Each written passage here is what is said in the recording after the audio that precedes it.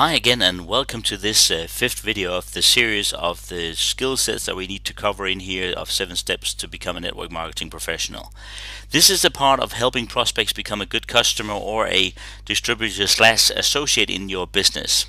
Again we are going to uh, add that into the category of education so that you actually uh, keep on uh, putting your knowledge base um, higher ranked and you know and get more more into your brain so you really can uh, filter it out and become a super leader and leverage your business and grow exponentially whatever you're doing. Okay, let's get on here and let you know that it's again a part of the uh, Eric Worre book and um, just you know you know the drill by now and uh, we just need to get further on with Eric and let him take off with this next uh, skill set number five.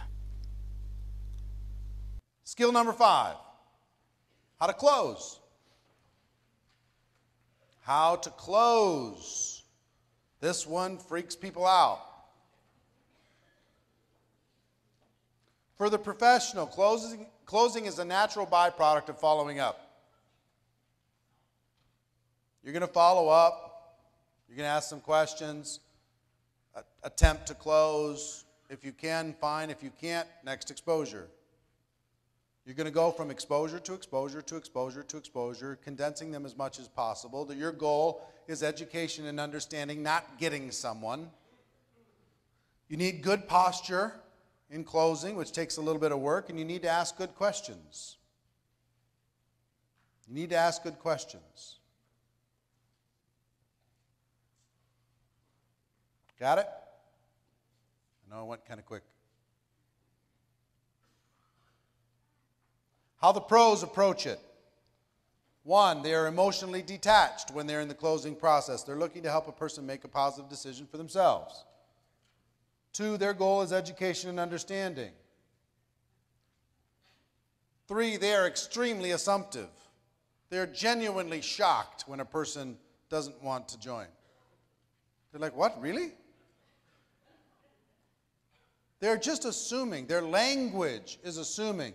Most amateurs don't realize it, but they are apologizing the entire time. They're apologizing when they're inviting, they're apologizing when they're answering questions, they're apologizing when they're following up, they're apologizing when they're closing, and they're wondering why they're not getting results.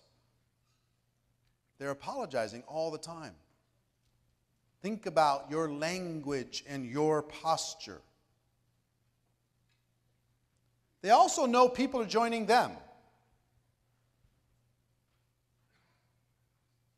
A lot of, lot of you are saying, you know, hey, come check out my product. Some of you are saying, hey, come check out my opportunity. But you know what leaders kind of say?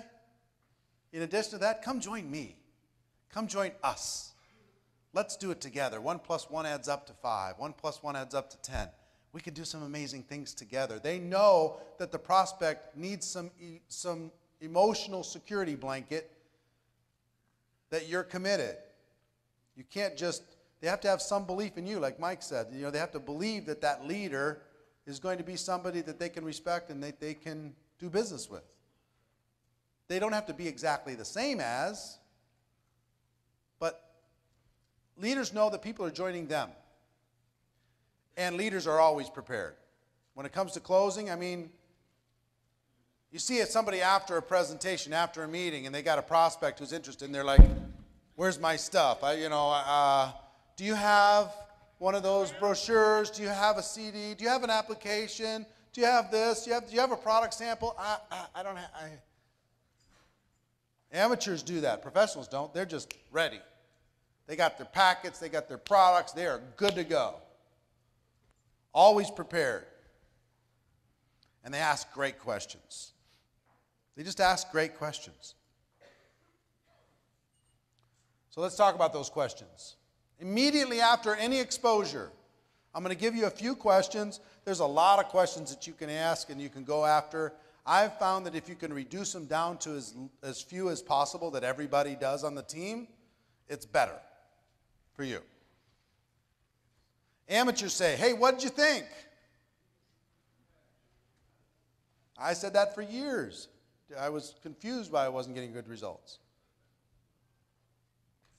Asking, what did you think, invites the critic.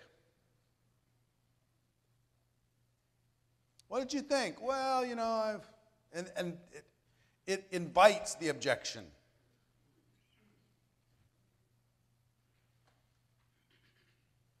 Professionals ask leading questions. Did it make sense? Pretty exciting, isn't it? What did you like best about what you just saw? That's my favorite. What did you like best about what you just saw? Some people like to say, What do you like more, the product or the opportunity? My favorite of all of these is What did you like best? You watched the DVD. Did you see the DVD? Yes. What did you like best? Did you listen to the CD? Yes. What did you like best? Did you listen to the conference call? Yes. What did you like best? Did you watch the webinar? Yes. What did you like best? Did you see the online video? Yes. What did you like best? They will tell you. And it's going to be generally positive. What did you like best? Follow up question I like. I like a lot. Oops. Hold on.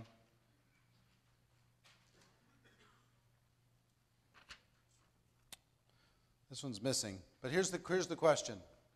Follow up question I like on a scale of 1 to 10. 1 being you don't have any interest in 10 being you're ready to get going right this second. Where are you? Where do you see yourself?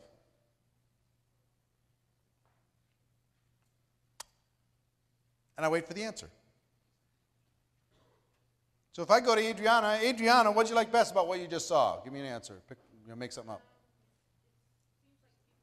Seems like people are making money. So let me ask you a question. Scale of 1 to 10. 1, you have no interest at all in even pursuing this any farther. And 10, you're kind of excited about it. You may, maybe like to do something with this. Where do you see yourself? Yeah, where are you? 1 to 10. Um, 6. 6. Now, Anything over a one is good. I'm serious. What does a two say? There's a chance, but you have to convince me. There's some work you got to do before I'm ready to pull the trigger here. I've got some serious doubts, but I'm not closing the door. One closes the door. So if they say a two, you just say, well, what, you know, what can I do to help you get to a three or a four or a five? Well, I need to know more about the product. I need to check this thing out. I need to see if it's for real. I got to do this. I got to do that. And then you just set up the next exposure to do that. If they say a six, seven, eight, and they say it with a little bit of energy, I go right into a four question process that I've used for 20 years. This little four question close at the end of an exposure will get you more results than you can even believe. And it's learnable. All of you can learn it. Question number one. Based upon what you've just seen, if you were to get started with this company on a part time basis, let me ask you this question, Adriana. Based upon what you just saw, you said you're a six on a scale of one to 10. If you were to get started, just hypothetically, on a part time basis, about how much would you need to make per month in order to make it worth your time? About 3,000. I don't say, hey, would you like to make 10,000 a month? I don't say that. You'll be surprised at how low these numbers are when you ask people. If you were to get started part-time, well, how much would you need to make in order to make it worth your time? Ah, well, 500 a month, 1,000 a month, 2,000 a month, whatever. Okay? Simple question. Questions in the book, too, so you'll be able to take a look at it any time. Number two, Adriana, about how many hours a week could you commit to developing that kind of income?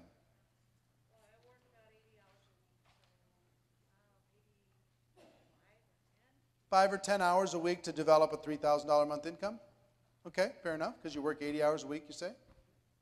Question number three How many months would you work those kind of hours in order to be able to get to your $3,000 a month? Have to happen pretty fast? Yeah? Uh, do you mind asking me, uh, uh, uh, letting me know how much you make with your 80 hours a week right now? About 80,000 a year. So you're making about 6,500 a month, working 80 hours a week, and you want to make 3,000 a month working 5 hours a week, and it has to happen pretty fast.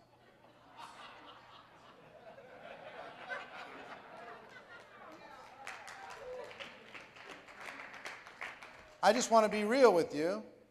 You know, we might need to adjust some of those expectations or something, uh, you know. You know, I just, I'm just trying to understand where you're at. You know what I mean? I want to help. Okay?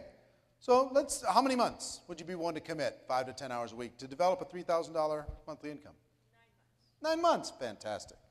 So, question number four if I could show you how to develop an income of $3,000 per month, working about five to 10 hours a week over the course of the next nine months, would you be ready to get started? Sure.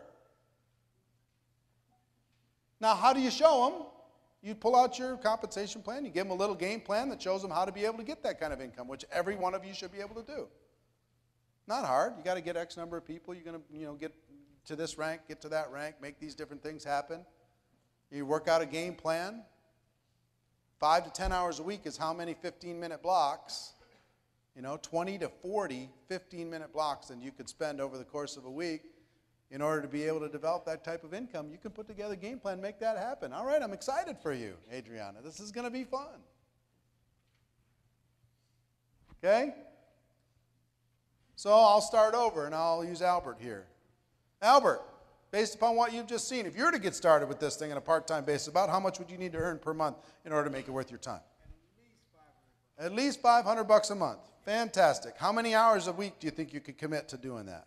To developing that kind of income?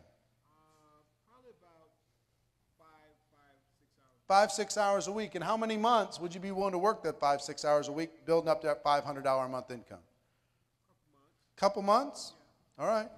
So, if I could show you how to develop that $500 a month over the next couple months, working five, six hours a week, would you be ready to get started? Yeah, why not? Yeah, why not?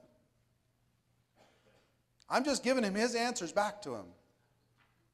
I'm asking him what he would call success in this business. When I ask question number one, how much would you need to earn per month in order for you to rearrange your life and to take on something new? How, the reason why, in order to make this worth your time, is such an important part of this question is because they got to go, okay, what would be worth my time? The distraction, what I got to do with family, what I got to do with my job, I got to put in some extra stuff. And they come up with a number in their brain that would justify it. And they go, click, click, click. Nope, that's not enough for the distraction. Click, click, click. Nope, that's not enough for the distraction. Click, click, click. Okay, that's the number that would be worth it. $3,000, $5,000, $6,000. Okay, fantastic. Then how many hours a week could you commit to develop, developing that $6,000 a month? And they go, hmm, I can move this here, I can move this there, I can make this happen. Okay, I'd, you know, I'd give it 10 hours a week, I'd give it 20 hours a week, whatever it is.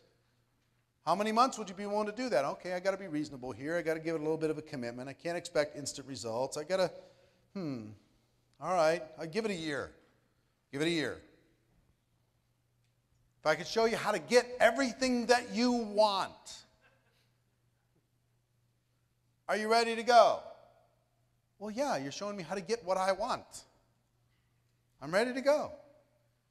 Now, they're either going to be ready to go or they're going to go, um, I got to talk to my spouse.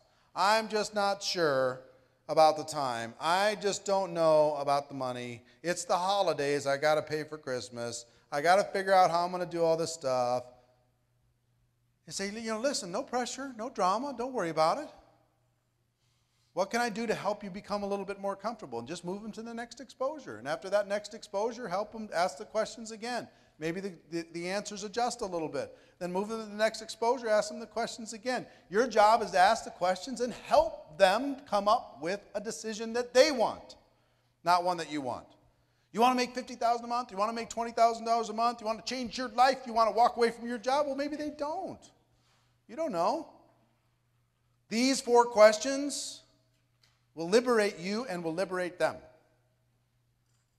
Okay?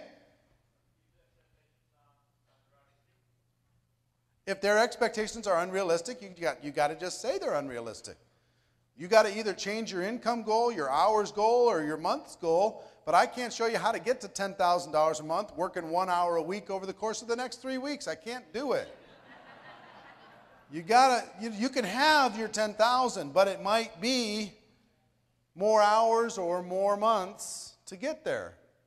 Again, what would a consultant say if somebody was unrealistic? You're unrealistic.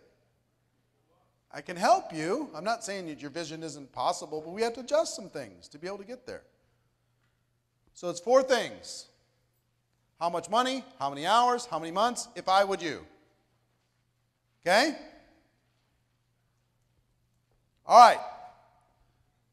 Here's what I want you to do. Make a quick note in your quick quick little uh, outline in your notes. Question number one, or just point number one, what did you like best? Number two, one to ten. And then these four things. What did you like best? One to ten, and then these four things. One, two, three, four.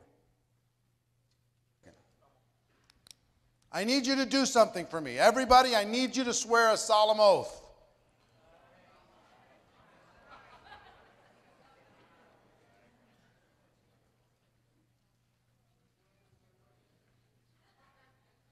This word needs to go away. I don't want you talking about the industry of network marketing anymore. Let it go. Erase that word. And I'm going to tell you why. If you replace that word with profession, the ripple effect in your organization will be so radical and so massive you won't even be able to measure it. Talking about our industry does one thing, but when you talk about our profession, the profession of network marketing, the career path of network marketing, this is a group of professionals, not just a group of people stuck in an industry. Let go of industry, throw it away. Play a game where you got to put a dollar in the cookie jar every time you say industry. Let it go. Kill that, kill that word. Replace it with profession. Watch what happens. Watch your group pride grow. Watch the, watch the aspiration of people to become professional grow. Let go of industry. That's become pervasive in network marketing, and we need to be focused on our profession.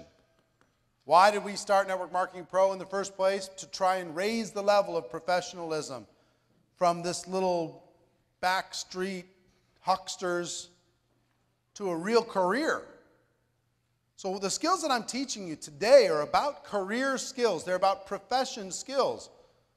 The amateur just throws a bunch of stuff up against the wall, sees what happened. The professional says, I'm going to learn how to find people with unending ability. I'm going to learn how to invite them and teach them with a process that's simple and makes sense. Direct, indirect, super indirect, eight steps. If I would you, I'm going to confirm it. I'm going to follow up, do what I said I was going to do.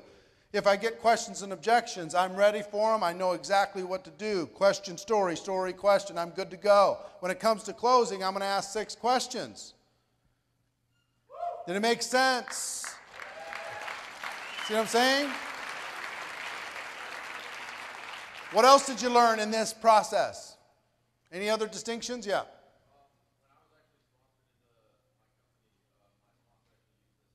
Your sponsor used this on you when you when you started with your company?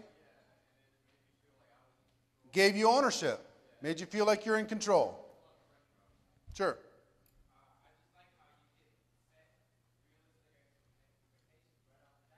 You don't even set them, they set them. You know what you'll find is they'll be way, way more realistic than you will in real life because they're used to, if they're going to take a part time job, what are they expecting to make in a part time job? 20 bucks an hour? Let's say 20 or less for a part time job. They're not going to throw out an expectation where all of a sudden they're making $50, $100 an hour. They won't be able to do it with integrity. So they'll set something based on, okay, how many hours? What do I want to make? All right, you know, let me add that up. Eh, if, if you could show somebody they can make 50 bucks an hour, which they can make in network marketing, you know, 250 a week, working five hours a week, they can do that. That's doable, right? You know, most of them won't believe you, but yeah, question or insight, yeah. If they give you anything that's unreasonable, say, you know, look, I'd love to help you, but one of your numbers needs to change. You got to change the number of hours you're working. You got to change the number of months. You got to change the amount. you know, and, and like I said with Adriana, she, she told me she was working 80 hours a week to earn $6,500 a month, but she wanted to work five hours a week and earn an extra $3,000 a month, and it had to happen fast. I was like, what? How long did it take you to build up to your $6,500 a month working 80 hours a week? How, how many months did you give that? No, I know, but how? Oh, you just made it up.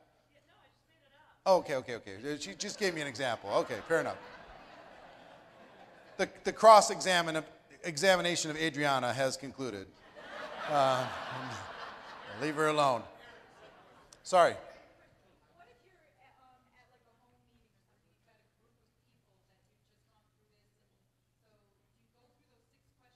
Uh, I wouldn't do it with the group. I wouldn't do it with the group. This is something you do individually. Somebody doesn't, this is a personal thing. You know, you're going to be asking people for their own personal path. You know, if I've got multiple people at the end of a presentation, I'm going to say, you know, look, let's set up a time for each of us to talk. And when we talk, or I pull them aside and let me ask you a couple questions based, you know, based upon what you just saw. You know, what'd you like best based upon what you just saw? One to ten, off we go. Yeah.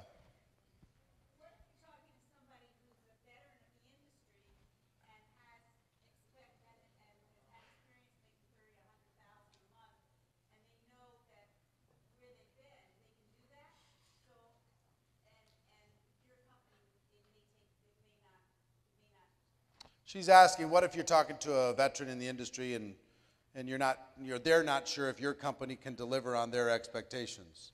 Just have to have an honest conversation. You know, there's two kinds of companies in network mark, or many kinds, but there's the two extremes.